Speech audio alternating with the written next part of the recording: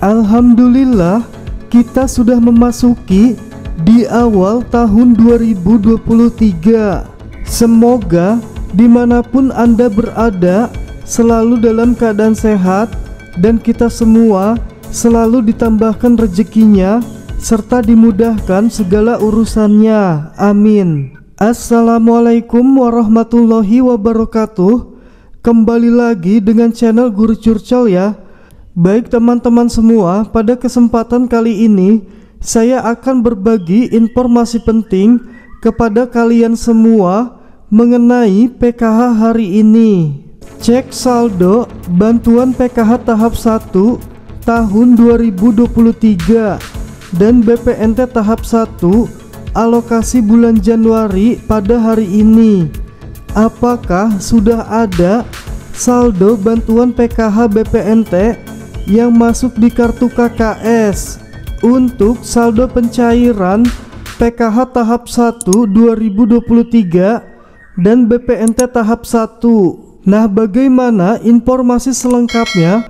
Simak terus video ini, jangan di skip-skip supaya tidak terjadi gagal paham dalam menyerap informasi yang kami sampaikan. Baik, langsung saja tanpa berlama-lama, ada informasi penting bagi para pemilik kartu KKS merah putih yang sampai saat ini masih menantikan pencairan bantuan PKH tahap 1 2023 dan BPNT alokasi bulan Januari dicairkan pada hari ini.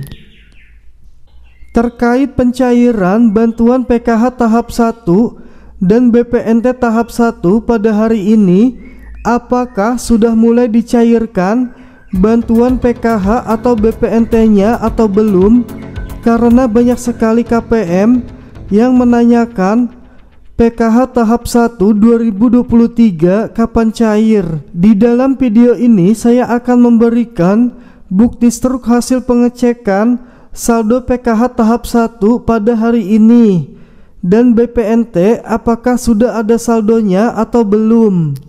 Para KPM semua ini wajib mengetahuinya. Namun sebelum saya memberikan bukti struk pengecekan saldo PKH tahap 1 pada hari ini atau BPNT sudah cair atau belum ada informasi yang harus disimak terlebih dahulu oleh KPM PKH maupun BPNT agar paham sudah sampai sejauh mana perkembangan pencairan PKH tahap 1 2023 dan BPNT di bulan Januari. Nah, perlu diketahui bersama pencairan bantuan PKH atau BPNT di bulan Januari tahun 2023 ada dua kemungkinan yang bisa terjadi.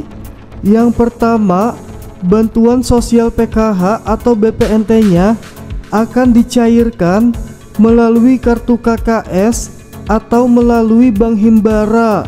Dan kemungkinan yang kedua itu bisa saja disalurkan melalui PT Pos Indonesia. Namun bantuan sosialnya akan dicairkan lewat kartu KKS atau PT Pos. Kita sebaiknya menerima saja keputusan tersebut dari pusat dan tidak ada salahnya apabila kita mengecek kartu KKS-nya seperti pada video ini. Siapa tahu saja ada saldo bantuan yang masuk di kartu KKS-nya. Nah, selanjutnya informasi yang ditunggu-tunggu terkait bukti struk pengecekan bantuan PKH atau BPNT pada hari ini yang ditunggu-tunggu oleh para KPM. Nah ini bisa dilihat bukti struk pengecekan kartu KKS PKH atau BPNT pada hari ini. Sudah dicek saldonya namun belum ada saldo bantuan yang masuk atau ditransfer dari Bank Himbara.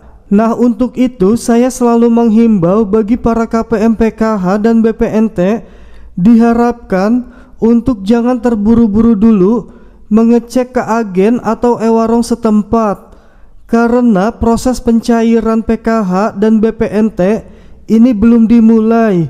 Ini sudah ada buktinya, saldonya masih kosong. Saya doakan Semoga dana bantuan PKH tahap 1 dan BPNT teman-teman dapat segera dicairkan oleh Kemensos pada awal minggu di bulan Januari 2023 ataupun di pertengahan Januari bagi yang belum cair di minggu awal bulan dan semoga surat SP2D data bayar PKH tahap 1 ini segera diturunkan kepada pendamping masing-masing. Amin. Nah, demikian tadi informasi PKH terbaru hari ini. Semoga saja informasi ini dapat bermanfaat bagi kita semua.